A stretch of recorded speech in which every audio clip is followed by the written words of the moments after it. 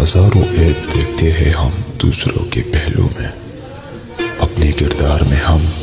फरिश्ते हो जैसे